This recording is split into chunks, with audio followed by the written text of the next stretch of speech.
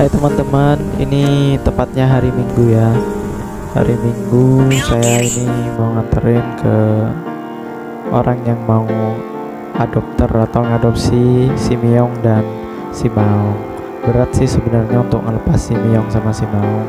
Tapi sepertinya uh, Mbak Nafisa ini yang mau adopsi pecinta kucing juga kok. Jadi agak terlalu ini ya sebenarnya benar berat banget sih sudah 9 harian sama saya si kucingnya. Pas pertama kali itu ditemukan sebenarnya itu selesai habis sholat asar itu.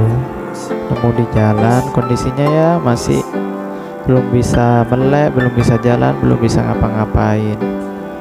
Ya sekarang terpaksa harus berpisah. Semoga betah di sana ya kucing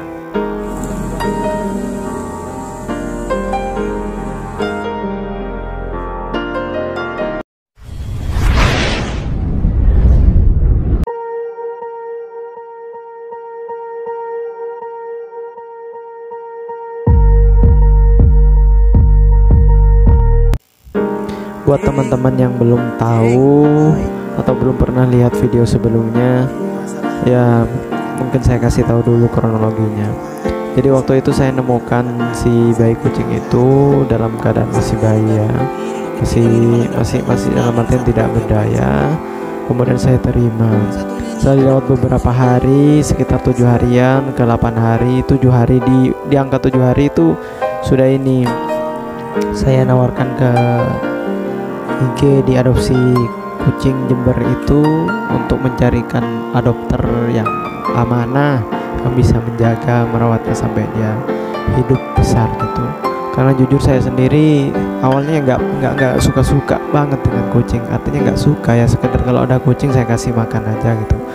Tapi kemudian kalau yang itu saya takut mati kemudian saya rawat yaitu setelah di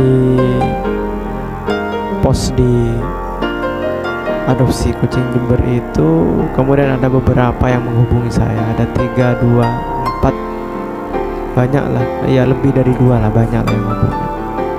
Cuma yang pertama menghubungi itu ya ya Kak Nafisa itu langsung ke WA sebenarnya pas hari itu juga mau saya anterin tapi kok berat gitu. Malamnya saya lihat gitu.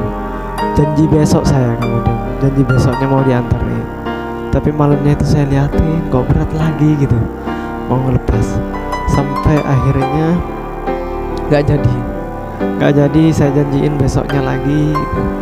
sampai ya baru akhirnya ini saya relakan untuk uh, diantarkan ke Tanggul ya.